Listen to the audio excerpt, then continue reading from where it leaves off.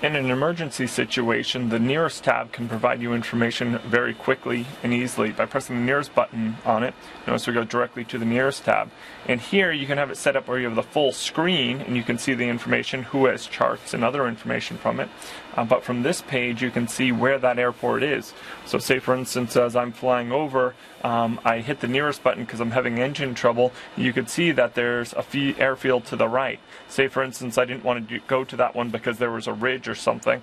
Um, as I pan down, I want to see exactly the other airports. You can see our nearest actually highlights which airport it is that you're looking at. So now, between these airports, I can see where the airport is, and it's going to highlight that so I can make sure I'm going to the nearest one or the one without the ridge. I can then press the direct to button, enter, enter, and now I have a quick flight plan that's taking me uh, to the airport that I picked out on it based on the location and based on where I am so that way I can keep out of the terrain as I'm flying.